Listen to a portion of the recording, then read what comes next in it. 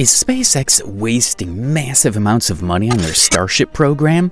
SpaceX has continued to amaze us due to its breakthrough achievements. With such fast levels of production, the fastest in the industry in fact, and being the first company to successfully land its rockets on Earth, it's safe to say that its future is in secure hands under the helm of Elon Musk. According to SpaceX, the Starship was the world's most powerful launch vehicle ever made, Thus, it's safe to say that the program has the potential to revolutionize the space industry forever. That being said, is it feasible? How long can SpaceX continue to fund the Starship program? With FAA and such huge figures being involved, some believe that Musk needs to scrap the project and work on the rest of his empire. Is this true? Is SpaceX wasting massive amounts of money on their Starship program? Well, stick around until the end as we answer these questions. So without further ado, let's begin the video. The FAA ruling is still pending for SpaceX and its Starship program. It goes to demonstrate how much public interest is behind SpaceX being allowed to proceed with their Starship test flights, which have been delayed twice and are eagerly awaited not only by SpaceX, but also by the whole spaceflight community. But as I previously stated, this does not imply that SpaceX is sitting around doing nothing.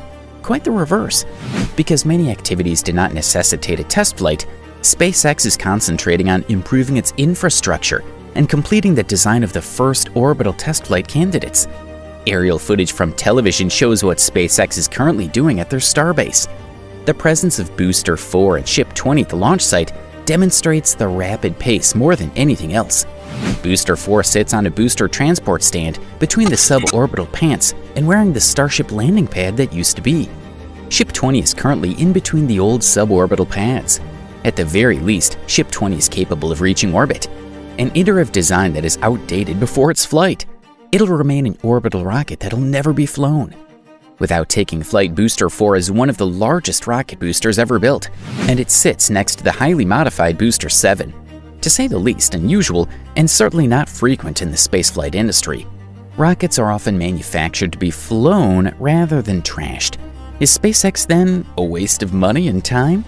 It makes sense to do it in the Starbase manner, given SpaceX's approach to the Starship program and the extra time provided by the FAA. When compared to other prototypes, building a Starship prototype is not very expensive. It's cheap and quick to waste an entire Starship, including the booster, in favor of a more sophisticated test candidate. A Starship and a Super Heavy are unlikely to cost more than $20 million to build, even less so without engines. SpaceX now takes three to four months to produce one pair of Starship and booster, and we're still in the prototype phase. Even when their products are in regular production and are not still in the prototype phase, any other rocket manufacturing firm in the world would welcome these times in pricing. Even though SpaceX would have liked to start delivering payloads with its Starships yesterday, not launching Booster 4 and Ship 20 isn't a waste of money. It makes sense to omit some prototypes now and again because SpaceX is so quick at cranking out new test candidates with vastly enhanced hardware. SpaceX will have to find a new way to launch rockets shortly. The fast expanding refinery is one of SpaceX's most valuable assets, and it's only getting bigger. New foundations are being laid. Moreover, SpaceX employees have put a quick disconnect interface at Rocket 7 at the launch site. These preliminary tests on the Can Crusher with the current Super Heavy prototype in preparation for the impending orbital mission, a hydraulic test stand is putting Booster 7 through more critical testing, and the first test took place on April 12th. After connecting Booster 7 to the tank farm and the can crusher, liquid nitrogen was pumped into the engine section's very bottom. To imitate flight circumstances more exactly, it'll most likely be cooled to flight temperatures. From the start of the venting until the end, the test took almost exactly two hours. There was no evident difficulty, but no news from SpaceX. Booster 7 has passed another milestone and is becoming more prepared for orbital launch by the day. We'll keep our fingers crossed for the FAA's decision. Now let's take a peek at Crew 4 departure. When is it going to happen? What will the payload be, and how far along is the commercial crew program in general? The commercial crew program is now underway, SpaceX has already launched four times toward the ISS, demonstrating its commitment to restoring the U.S. access to space. Well, full swing might be an exaggeration, as Boeing Space has yet to send a single Starliner to the International Space Station. But we'll get to that later. SpaceX is now launching Crew 4 toward the International Space Station.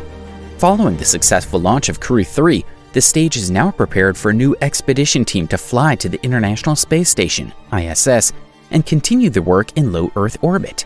NASA astronauts Kjell Lindgren, Bob Hines, Jessica Watkins, and ESA astronaut Samantha Cristoforetti will be the first to launch on the Crew Dragon spacecraft.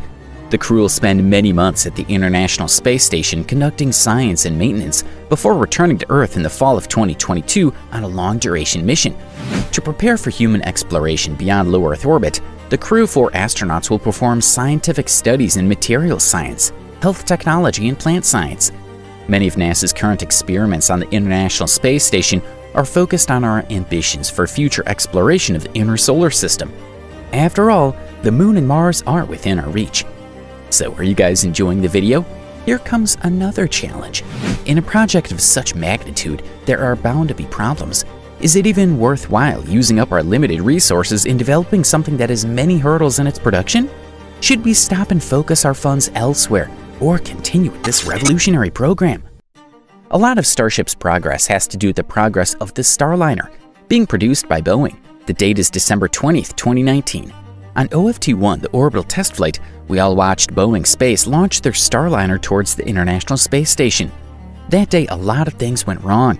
The capsule was unable to reach the ISS due to hardware and software issues and landed three days later on Earth. The issues, however, did not end there. Boeing announced a privately funded OFT-2 mission to the International Space Station after a thorough research. Uncrewed once more, the premiere is set for October or November 2020. There is no money from the taxpayers involved. Boeing is responsible for all of the funding. Before the August 2021 launch, window concerns within the spacecraft's propulsion system valves were discovered. The rocket was returned to the vertical integration facility after attempts to rectify the problem on the launch pad failed. Moisture found its way into the valves, corroding them. Boeing was still unable to determine the core cause of the problem as of late September 2021. As a result, they decided to postpone the flight indefinitely. Starliner OFT-2's overall cost is now anticipated to be around $595 million. The entire service module was replaced in December 2021. The current aim is to launch Starliner OFT-2 in May of this year, the odds for the second launch location are presently unknown, but as previously stated, the SpaceX Crew 4 astronauts will be waiting for it once more. Starliner will be late regardless of the decision. At this point, a few people at Boeing are likely to be agitated. Let's hope they succeed this time, so that as a direct result, Starship gets the green light to launch. Boeing's Starliner issues tells how superior Musk's Starship is, proving that they should be at the forefront in space travel. One should grab any opportunities, any chance of developing something revolutionary and making the world a better place due to their inventions. The brilliance of Elon Musk will surely bear fruit, and he will once again wow the world with his unique and astounding Starship project. We shall soon see Starship rockets landing on Mars and making Musk's dreams a reality. So, are you excited to see how the Starship program turns out? Will it be a success or just a waste of money? Let us know in the comments below. And if you want to watch more of our amazing videos, then stay tuned.